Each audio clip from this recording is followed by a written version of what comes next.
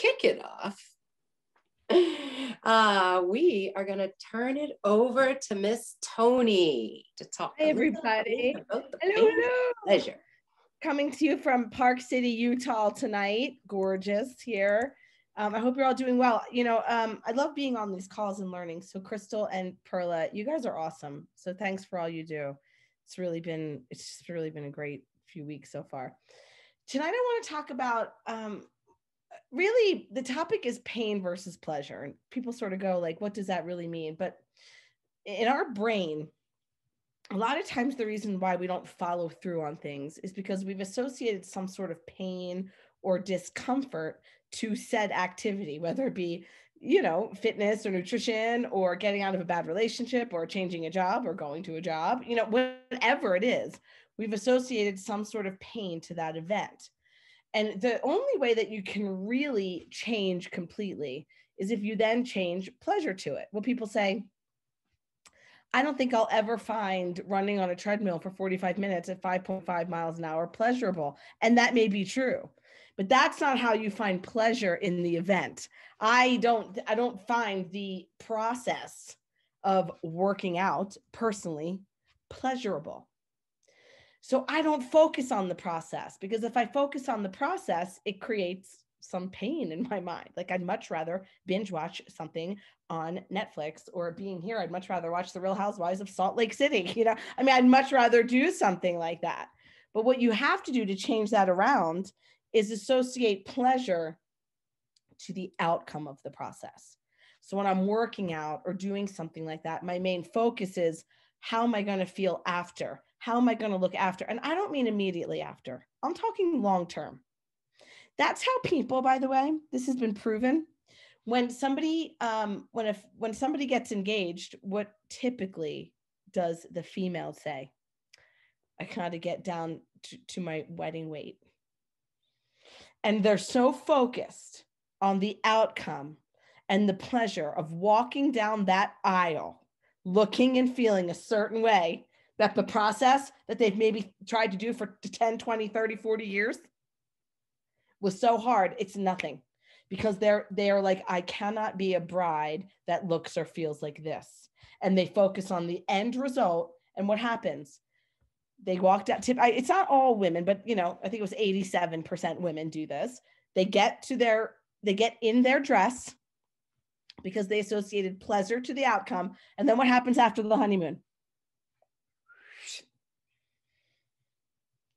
we're starting over right mm-hmm. now we got baby weight comes okay so then what happens right it goes right back because we associated pleasure only to a short outcome like your wedding. And your brain said, literally, your wedding's over. And then that person didn't associate enough pleasure to how they felt on that wedding day and wanting to feel like that every day. And so they didn't continue that association. Okay. So what happens a lot of times is when we hit our goals, we stop.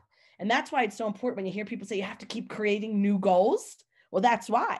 Because okay now i feel really good on my wedding day. I look good. I feel good. I, my energy's there. My vitality's there. I fit into this dress now i want to stay this way because now i can't tell you the reason but you have to find a reason. But when you focus on the end result you will create pleasure to the event that was prior to that not pleasurable does that make sense so when you're going through this process right now you have got to associate pleasure to the outcome, not the process. There's going to be a part of this process that's not pleasurable.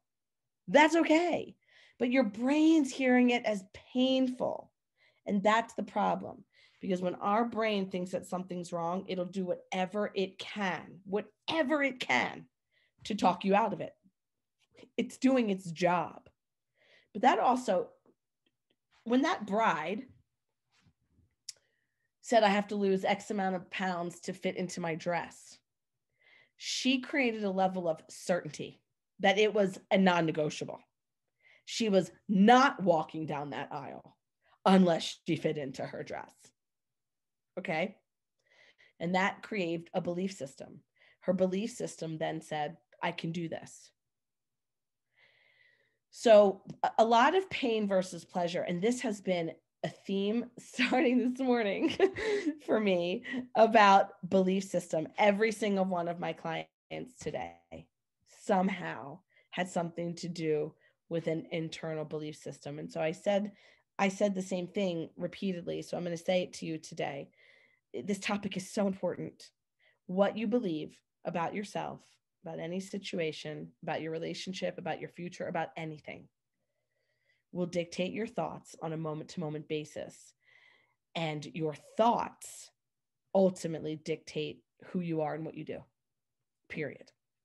If you believe that money, and I use this example all day today, if you believe that money is hard to make, you're not going to have the ideas or the creativity or the drive or the thought around money that will lend to making money easily. You just won't. So, what you believe dictates what you think and ultimately what you do. So, you have to believe that whatever result you're looking for through this program is going to happen. Just like the bride believes she's going to get into that dress without having to get it altered. Okay because you can't i said this too you you can't get bananas from a lemon tree if you believe you're a banana and you really want a lemon you're never going to be a lemon. If you believe you're a banana you just won't. And what you think you then experience as an emotion. So if you think that this is going to be a waste of time or you think maybe you'll lose three pounds but you really wanted to lose 10 so what you're going to what you think about turns into an emotion. So your emotion may be defeat, hopelessness, blase, whatever, whatever emotion you bring onto yourself, and that emotion dictates what you actually do or not do. Whether you stay on the plan or not. It dictates your movement, whether you follow the fitness videos or not, the action that you take on most cases or not take. Because those two things are always in harmony with each other, always. You've got to understand that the pain versus pleasure stems from your belief system.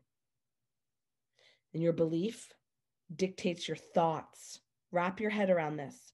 And your thoughts dictate your emotion, how you feel. And your emotions dictate your actions or lack thereof. And those actions or lack thereof becomes your pattern in all areas of your life in all areas. And that dictates your end result. And when you when you and your results, when you really look at them, if you're really honest with yourself, will reinforce your beliefs. If your outcome is to make um, a million dollars this year, but you really believe that you're worth 50,000, well, at the end of the year, when you make 50,000, doesn't that reinforce your belief that you can only make 50? because you behaved and felt like that, your results will always reinforce your belief system and vice versa. And so we're just caught up in this pattern. But I, I, said this 25 times today, so I'll say 26. The linchpin of that pattern is your belief system, which dictates pain versus pleasure. Because if you believe you can make a million dollars and you're excited about it, it's going to be really pleasurable because your focus is going to be on the outcome. But if you want a million dollars, but you believe you're not, that you're only worth 15, when you go to work, even if it's a great job and $50,000 is nothing to turn your head at, you're going to be miserable and depressed and you're going to believe that you're not worth it. And, and that job's going to create pain. And you're going to say, this, I hate this job. I'm stuck in a dead end job, this job, and you're going to poo poo the job. So your pain versus pleasure really does go down to your belief system. Think of it like the body. I think I said this to Perla today. I said, you know, she knows the body better than really anybody I know, these two. Okay. Crazy.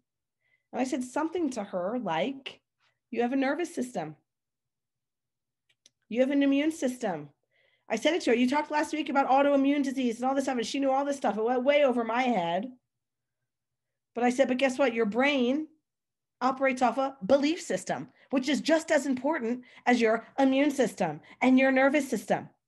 It's a real system. Belief system isn't just like a catchphrase, it's a system in your brain. Nobody says, oh, your nervous system. Well, that's a catchphrase. No, we have a nervous system.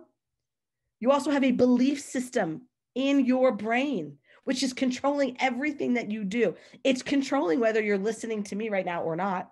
If you believe that I'm full of it, you're going to be like, this chick just likes to hear herself talk. But if you believe that what I'm saying may have some validity to it, you're going to take notes. It comes down to your belief system. So before you change anything, before you really analyze pain versus pleasure, you have to change your belief. You've got to understand that, yes, I believe this can be true. And so, how do you do that? Step one choose your desired outcome. The very first step is to choose your desired outcome, just like the bride did. And this will help you be very clear, gain clarity about what it is that you'd like to change. Just ask yourself, ask yourself these questions. What goals would I like to achieve by doing this? What's currently preventing me from achieving these goals? What kind of person would I ideally like to become? What is it specifically that I'd like to change? What specific specific beliefs are not working for me? And what beliefs are preventing me from achieving these desired outcomes? And then step two is just to question those limiting beliefs. Your limiting beliefs are only as strong as the references that support them. So find beliefs that disprove your limited beliefs. Well, I can't lose weight because I have glaucoma. Well, go find somebody with glaucoma that lost weight. That's what I mean. Disprove your belief. You know, I can't do this because, you know, I went to the hairdresser yesterday, so I had to order out. Well, find somebody that brought food to the hairdresser. You see what I'm saying? Find something that disproves your belief. And step three, consider the consequences of your limiting belief. If I don't change this limiting belief, how will I suffer? And associate pain to not changing your limited belief, then the pleasure will come from changing it. Okay? All right, ladies, my 15 minutes is up. I hope that was helpful.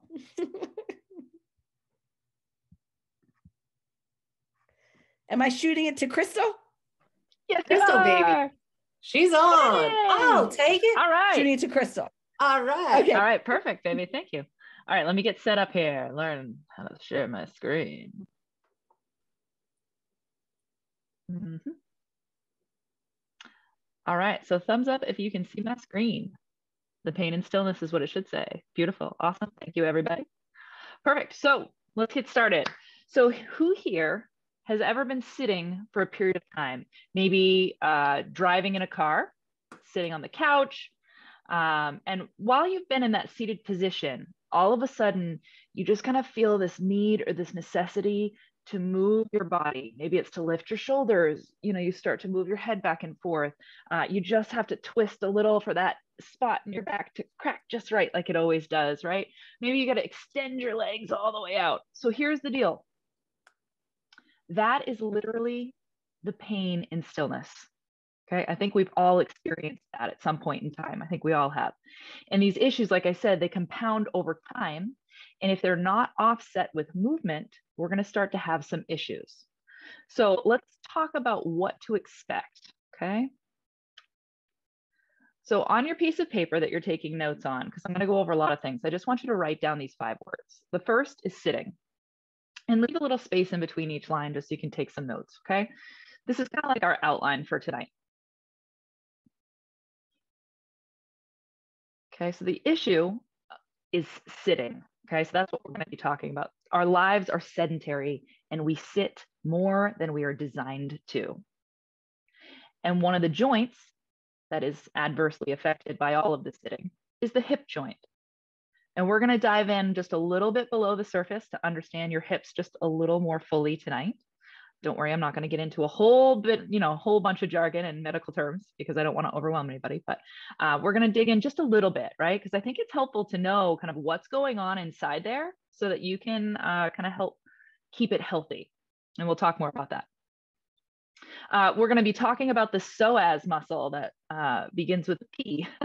the psoas. It's a muscle we're going to become a little bit more familiar with because I always like to give you a muscle and a move. Okay. So this muscle is in, it's really incredible and it does a lot of really cool things, but it also suffers from prolonged sitting. Another common thing that gets thrown around a lot is sciatica pain Okay, so I just wanted to talk a little bit about that because get, you know, having sciatica, sometimes this is affected by sitting, the hip issues with the psoas, right? So sciatica is something we're going to be talking about. Um, it, essentially, this is a back issue, but uh, sitting only adds insult to injury. And then lastly, what we're going to be talking about is just exactly what your hips are responsible for, and that is hip hinging. And it's something that we do on a day to day basis, sometimes thousands of times a day. So just make sure you've got these words. And I'm, like I said, I'm going to share a lot of information and this is just going to help simplify it. So let's move on. So hands up, who works from home here? Just so I can kind of get an idea. So who works from home? Or if you don't work from home, who sits for the majority of your job? Okay, so if for your job, the majority of what you're doing is kind of in a seated position. Awesome. Okay. All right. So that's good to know. Good to know so unfortunately, this is the world that we find ourselves in today, right? And I think it's interesting because most people understand the benefits of movement and just how important it is. But no one's really looking at the nasty side effects of sitting, right? No one's really like discussing that. Everybody's like, get your, you know, everybody's, oh, Crystal, I got my 10,000 in, and they're so proud. And that's awesome, right? And I love all the technology in today's day and age in this world because it helps get people more mobile, right? It's getting people to move and, and engage. Um, everybody's obsessed with counting steps. And that's, like I said, that's great. Um, but what we want to make sure is that we also understand that in addition to getting our steps in, for the health of our body, it's important to move it in certain dynamic ways, kind of in these restorative movement ways that we have you uh, doing here in this program and what it's going to do is that although you know steps are great but this this um, series of exercises that we're doing has been shown to increase your mobility and your flexibility to decrease the risks of aging okay? Uh, risks like falling okay? And i'm sure you probably heard in, in uh, past presentations that i've given you know the, pe- the person who has done these restorative movements and strength trained their whole life and then the person who is not they both fall and break either their pelvis or their hip. One returns to the life that they knew, one does not. Okay, the life that life significantly changes for that person. And I don't know about you, but the world uh, right now, if you're in New England, is a little icy. and some of us, you know, uh, are, I've heard a lot of people have fallen, right, just because of so much ice. And some people have broken bones while others have not. This is also why we practice balance year round in our circuits. Because if it's not ice this time of year, it's being out on the water, whether you're out on the boat or you're out kayaking, right? Uh, or maybe you're on uneven ground to begin with and you like to go uh, hiking. But training for these extracurricular curricular activities is really important. And the reason I'm so passionate about this is because I see so many people living with limitations due to lack of movement or strength. It's one of the two. And two things, by the way, that most people have control over. But people have given up thinking that they'd ever go paddleboarding or they'd ever go kayaking again or that they'd ever get the chance to go hiking. And it's almost like because of this lack of movement and this lack of mobility, they've given up on adventure. And it's sad, but it's true. And I want people to be able to take back their sense of adventure. That's my passion as a personal trainer. Is I've seen so many people go from I can't physically do that to look at me go. And it is the most incredible, empowering thing that I get the pleasure of watching and to be able to give that gift back to somebody but like Toni said, you can't give that gift to somebody who, who doesn't believe that it's possible. So think about this. If you follow, you know, regardless of what you believe, if you follow evolution kind of back, way back to before wagons anyway, how did people used to get around?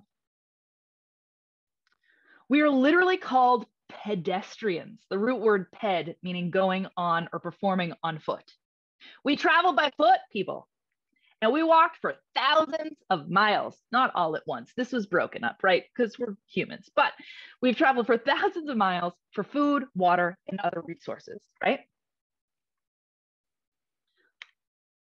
So movement is life, okay? like I said, regardless of what you believe and how, how we got here, we were designed to move. Our bodies are constructed for it with over 360 joints and 700 skeletal muscles that allow and encourage us to move. Our circulatory system, like that real system Toni was just talking about, literally requires movement. So do our bowels, right? Re- these, these functions require movement to function properly. And historians have shown us that as a species, as we've evolved, we've learned to use tools and make fire. We're incredibly resourceful and super intelligent. However, we have evolved to make our world so convenient that we don't even have to get a pen and a piece of paper to make a grocery list. You can just ask Alexa or Siri and say, add kale to my shopping list. The human body just isn't designed for sedentary activity. And yet, it's the thing that lots of us are doing the most. So let's talk about your hips. Okay, so I, I really encourage you to think about your own body that you are currently in throughout this presentation as we kind of continue here. So, one thing that I hear a lot is, Crystal, I don't know what happened. And I say, What do you mean? And uh, I just heard the story the other day. Well, it was just last year. I was able to go walk all the way out to the woodshed, uphill both ways, carry a huge load up two flights of stairs, and unload it. And this year, I really struggled with that trip all of a sudden I'm feeling bloated. I'm feeling tired most of the time. My strength is gone and I don't know what happened. But I hate to break it to you, it wasn't all of a sudden. This is something that has been happening subtly in small doses over time, right? Nobody just gets out of bed and twists their knee the wrong way and just tears their like, eh, you know, ACL. That does just, just doesn't happen. these are these are symptoms that have been creeping up that people have been ignoring for a long time, right? And just pushing it off and pushing it off, chalking it up to maybe aging because that's everybody loves to do that. Oh, well, I'm getting old. It just must be an in like insert X, whatever it is, right? But we're what we're talking about here tonight is magic. It is literally talking about rewinding the clock. The human body is an incredible machine. So, like I said, I hate to break it to you, it wasn't all of a sudden. we are a direct result of all the decisions we have made. And I tell you what, it's just that all of a sudden you're starting to notice it. So surrounding your hips, if we if we look at this diagram, and and the body, like I said, it's this incredibly intricate. There's so many, you know, different muscles and different bones, and and it can be really overwhelming to understand, right? But if you look at this pulley system, that's right to the right of this uh, picture over here, your hip and your knee are like these pulleys over here. And the muscles are like the ropes in between that push and pull, right? That make it so that you can walk forward and back, kick, jump, whatever it is that you like to do. Okay, sit down, stand up, bend over.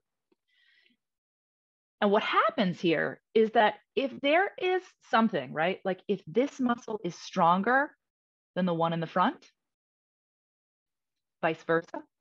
If this muscle is tighter than the one in the front, even just a little bit over time, it really starts to pull things out of whack.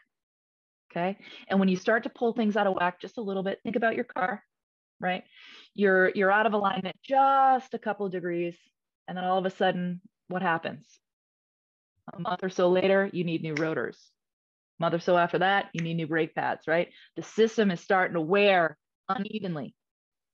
Okay, because things are out of whack. How many people here see a chiropractor right now? Anybody? Gotcha. Awesome. Awesome. They're really great for putting back together. But we want to take it a step further. These restorative movements that you're doing are helping to set the money that you're spending at the chiropractor is being set and kept in place by the restorative movements, right? So let's honor those. So that's that's just kind of in a nutshell, like I said, to just be aware that if one thing is kind of out of whack or stronger than the other, if you out train or always stand on one hip more so than the other, these things start to affect long term, right? And then what happens? All of a sudden, Crystal, right? Um, so, like I said, think about your own body as I'm kind of talking about some of these things. Feel free to reach down and to touch. You know, I'll coach you to touch a couple of different areas on your hip bones to kind of be aware. Because the more you can kind of look inward at this thing and be like, hey, what's going on in here? the more you can help treat it. Okay. Uh, all right, let's see. So extended sitting starts to shorten all of these things and really get them out of whack. Um, so let's see, sitting at a desk is really not great. Um, it can be harmful. An analysis actually of 13 studies of sitting time and activity levels found that those who sat for more than eight hours a day with zero physical activity, we're talking zero physical activity in a day, had a risk of dying similar to the risks of those posed by obesity and smoking, just from sitting eight hours a day and not exercising. Another study, this is this holds promise. Another study from more than 1 million people found that 60 to 75 minutes of moderately intense physical activity a day countered the effects of too much sitting. So what this means is, is that even if you have a sedentary job where you sit, that requires you maybe eight hours a day of just pure sitting. Exercising can negate some of the negative effects of the job. Okay. And it's just, it, this stuff is just really cool to be able to understand. So let's see what's next. So we want to understand the hips. So the joint that is affected, right? We've got lots of joints. So if you look at my lovely skeleton right here, let me come back to you. So my skeleton right here. So there's lots of joints in the body, as you can see. He's also working on the computer diligently, but he needs a stand-up desk. Um, so the shoulder joint, the neck, right? Obviously, we can see that that's going to take some brunt of sitting as well. But tonight, we're focused down here. Okay, so understanding your hips. Um, and people that I work with, oftentimes, what we're trying to do is combat sitting, right? The sedentary lifestyle that we find ourselves in. And I want to show you here on the slide just what happens. So there's a few common issues that happen with the hip. First, I just want you to take a look at this diagram. Oh, I'm going back one. So this diagram right here, uh, the psoas, okay? So just look at the skeletal structure, right? So we get the ribs, and you can feel right in the front, right below your chest, you've got your ribs, right? The one piece that goes down the middle, we've got your spine. There's a little section down here. This is called your sacrum. You don't have to remember what it's called, but this is the piece that when your chiropractor adjusts, they usually start down here. And we usually start with people, uh, you know, just like this program, we start people with working on and understanding hip movement, right? It's the center of the body. Everything that kind of goes wrong with the body starts here and trickles either up or down. That's why oftentimes when your chiropractor starts, where do they start? Your hip. Okay. And so this right here is the sacrum. And then down here, we've got your femur bone. Okay. So this is the psoas right here, and it connects up here at your spine and it comes all the way down and connects into the back side of your femur right there, kind of like right there tucked in in the back. And you can see where if this gets swollen or cranky or upset, there is not much space in between this little teeny area that it slides. Okay, there's not much space there. And what happens, like if you look at this guy over here sitting, it starts to shorten. And what that literally does is it takes the pelvis and it pulls it out of alignment okay? And it starts to tilt, right? So if you put your hands on your hips, it starts to take your hip bones and tilt them forward. Okay, so your belly starts to come forward, right? And with years of this being out of whack, it really starts to throw off the body. Um, and so either it's hip pain or low back pain. And again, it can be caused by many things. It might not just be the psoas, but I like to give you, a, again, a muscle and a move. Um, so like I said, it's really complex, but to just understand that it's important to move this part of your body. Um, I've seen a few people who are past the point of restoration and do require surgery for certain things. Um, and and yes, I understand that surgery is sometimes necessary, but if you follow some of these issues that led to surgery back far enough, oftentimes you can find a place where things could have been avoided and a turn could have been taken to avoid that, right? And I see so many people just accept pain. And I understand pain is a facet of life, right? And it's a really good tool to help learn things. Uh, but they just, people just accepting their pain and they hold on to it almost like it's this new description of themselves. Okay. Um, and with the help of a professional and asking the right questions, you can really get some awesome answers and, and some solutions to a lot of these problems. And uh, I've really seen people cha- literally change their physiology from doing these restorative movements. And I'm, what we're talking about here is from contemplating back or bladder surgery to restoring and managing without. Like I said, hmm. I understand surgery is sometimes necessary, but if you can avoid it, let's try that, right? I've heard uh, professionals say, well, we've exhausted all of your options. I've literally heard physicians say that to people. And what that does is that takes away people's hope. And I, I, just, I find it so unfortunate that that is kind of the world we live in when really it's not that we've exhausted all your options. We've exhausted all the options that you know of, right? So let's take back that control. All right, so that's a little bit about the psoas. And like I said, this little guy over here, we want to avoid winding up like him because that's what's happened is that this has just gotten so shortened from sitting over in an you know uncomfortable and terrible position for so long that he just can't stand back up. Okay, all can be avoided. So next, I want to talk about sciatica. Okay, so this is just the back side of the body, and this is the side. So um, over here is the belly, and this is your back. Okay, again, we don't need to necessarily know the terms. We're just looking at pictures here. So sciatica pain, it refers to the pain that radiates along the path of your sciatic nerve, which branches from your lower back and it goes down through the hip. And like I said earlier, you don't need to be a doctor or a scientist or a personal trainer to learn more about your body. My goal with this is that you just understand this. Right here, where the spine is on the um, person on the right, if you look at her spine, right, picture the spine is like a power cord, right? This power strip that your computer on, is probably plugged into. So you've got this power strip and you've got this cord plugged into it. And all of these cords come out in these different spots and they all bundle together and they go down through the sciatic nerve and then they branch off into different spots down the leg. And they give you different receptive feedback that tell you different things. Now, you can imagine now from what I've told you, if that this is the back right where that psoas connects, right here in the back of the spine. And you can imagine if that's tight or weak from sitting, it can literally start to pull things, meaning your skeletal structure, out of whack.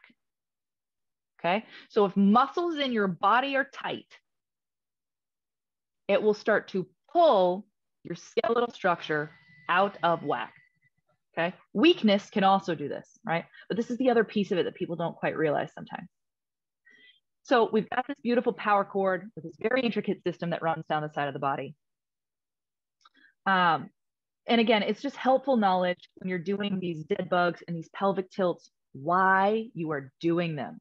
It strengthens this area and all of those small, teeny, tiny stability muscles in your back and pelvic floor. Remember, we looked at this, we looked at this in this picture of the psoas earlier. Look at how intricate that is where the psoas, everything connects in there. That's like the roads down in Boston. Okay. It's intricate. There's a lot of stuff that can go wrong in there. But uh, you don't need to be a doctor or a scientist or personal trainer to learn more about your body. My goal with this slide again is not to overwhelm you, but to just simply show you that these nerves plug into one spot and travel down the leg.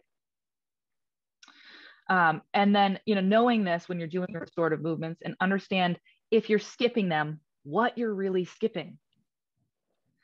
Because this type of restoration it does something completely different for your body than strength training does. Both are beneficial yes but they are different. So if your muscles are tight what could we also do to help loosen them up? Foam rolling foam rolling yes pearl i can see you mouthing it she's like yes foam rolling so picture this. So forget about the psoas for a second. There's a, a, million muscles down here. We just looked at it. All of these muscles down here, if they're tight, what are they pulling on? They're pulling on other muscles that are connected to other bones, right? And like, you know, your backbone's literally, if you follow it up far enough, it's literally connected to your neck. Okay. So understanding how this works is really important. And don't skip your foam rolling and your restorative movements because they will literally help prevent misalignment. Now, here is the next slide. Has this changed for you guys? It's just a little little delayed. Okay, so next I want to talk about this is the move. Thanks, Kate. So next I want to talk about the move, right? I said I was going to give you a muscle and a move tonight. The muscle I gave you was your psoas, and here we have the move. So we've got a hip hinge versus a squat. Now, you can also do this at home if you have a broom or a Swiffer, you know, whatever. Um, but you can hold this on the back side of your head and the back side of your back, similar to if anyone's ever come here to headquarters for an FMS, you've done something like this. And here's the difference. The squat is an up and down movement. Okay. And in both of these, there's a similarity where you want your head, your shoulders, and your butt touching the dowel. And if you have misalignment, you might not feel one or the other or some of them not touching. Okay. And that's again why we do these restorative movements. But so the squat, right, proper form is touching all three points. It's up and down, whereas the hip hinge is back and forth. Excuse me. So, you know, some of us in class were doing the squat. The hip hinge we call that a Romanian deadlift or a single leg Romanian deadlift. That might sound familiar to you, right? I see some heads nodding. Awesome. All right. So this is the position that we're talking about. Okay. Just in the single leg version, we're only on one leg. And then we're working balance. Uh, but if your hips are not moving properly, it's going to affect the way your whole entire body works. And we do thousands of hip hinges a day, right? We don't always squat down to pick everything up. I mean, imagine what that would look like if every time you drop something on the floor, you squatted down to pick it up. We don't do that. Oftentimes we just bend over at the waist, right? Bend over at the waist and you pick up the pen or whatever it is that you drop. That is a hip hinge when you're sending your butt back and standing back up. Okay. And we do these hip hinges in everything, right? So think about when you vacuum.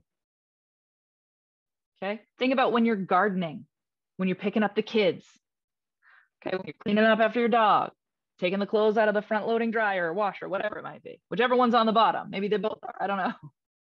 But my point is, we use the hip hinge thousands of times a day. And this is why it's really important to know what you're doing and why you're doing it. Again, this joint is affected a lot when we sit. It's affected a lot. Okay. So moving on, let's make the connection.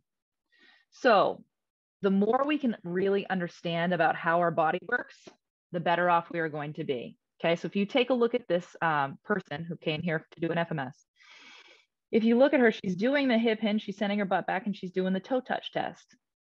But if you look a little closer, you'll see this flat spot on her back. Okay, and she doesn't have any spinal issues, right? Nothing underlying in terms of like scoliosis, stenosis. There's nothing like that here. It's just simply a lack of movement and a lack of, which has led to a lack of mobility, right? Lack of movement leads to a lack of mobility, which then starts to really affect your ability to touch your toes. So, what I want to encourage you to do is to tune into your body throughout the day and become present just for a few moments where you put your phone down and you just stand up and listen to what your body's telling you. Unfortunately, we are oftentimes very tuned out from our bodies throughout the day because we're living in either the past or the present in terms of like, what did I do? What do I have to do? That we're not focused on like where we are right now currently in the middle smack dab of what we're doing. So don't ignore your body. Get down on the floor and stretch out when and where you can. Every little bit of movement adds up. So think about something you've learned to do that you didn't know how to do, like walking or learning to drive a car. You can also learn how to take care of your body by doing research, asking professionals, and attending talks like this. Don't avoid the issues. Okay. I see so many times, like I said earlier, people accept the pain. Don't avoid the issues you might be having with your body. If you're feeling pain, please address it. And if your priority is not your body, I mean, come on. what literally what else have you got? right? But you know unfortunately some of our society has become like superficial. We're more concerned about like uh, you know nice cars or newer things uh, you know and it's great to have dreams and to want more. That's really great. And there's there's really nothing wrong with that. But not at the expense or the cost of your health or your body. Because remember you can't enjoy the sports car or the yacht if you can't get in and out of it okay? So let's talk about some solutions. So if you want to avoid issues like the lack of mobility that we see here on this slide. And I believe my slide's just about to change. Yep, there's just a little delay. Um, so here's some a few things to help you take a stand, okay? So take some time to get used to this. Take a break from sitting every 30 minutes and just stand up. Stand while talking on the phone or watching television. If you work at a desk, try a standing desk or improvise with a higher table or counter? Walk with your colleagues or your friends for meetings and gatherings rather than some type of sit down meeting. Favorite, foam roll. Do those restorative movements, okay? Very, very important. Or, and or work out with us, okay? So those are my solutions. So just in conclusion, I just want to say back to the um, five words that we had originally written down is we have, let me see, sitting. It shortens our muscles because we are designed for movement. Okay.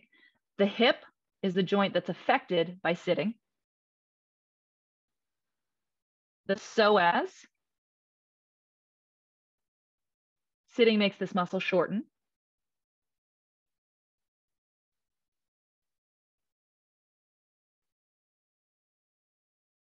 Sciatica is just a fancy way of saying you got a pinched nerve.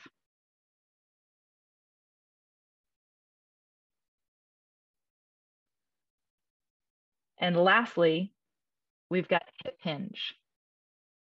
It's the most common activity that we do. And you can keep it healthy with restorative movement. Okay. So that's all I have for this evening. I just want to say, let's take a stand against sitting. So thank you so much, everybody. And I'm going to turn this back over to Miss Perla. Yay, Coach Crystal. Is she not the best or what? Woo! Yeah, all the things. Well done, Thanks, girl. Well done. That was awesome. I have like a whole page thing of notes. Like it was fun. Anyway, kudos and thank you for all that information. I hope all you ladies got as much out of that as I did. That was pretty awesome, right? So, homework. What? I would like all of you to choose your favorite restorative movement, take a video of you doing it, and post it to our private Facebook page. But when you do, I want you to tell me what you have learned about your body while doing that movement. Does that make sense? Do you want to just repeat it one more time? Yes. So you're going to take a video of you doing one of the restorative movements, and underneath it, write what it is that that movement has done for your body, what you've recognized about your body because of doing that movement. I didn't realize my back wasn't flat on the floor until I was more conscious of it. Right. Clearly, I was doing a dead bug. Right, Becky? Mhm. awesome. Any questions? All right. Well, I want to thank you all so much. I want to encourage you to fill out your weekly things. Some of the responses we're getting are amazing. Thank you. Thank you. And I have a post it that I'm going to ask you a question on Facebook tomorrow morning. I'm holding myself accountable by telling you this. And I'll expect I'll expect an answer. If I don't get one, I'll hunt you down. You know I will. all right, lovelies. Have a fantastic night. Thank you for your time. Much love to you all. Bye, everybody.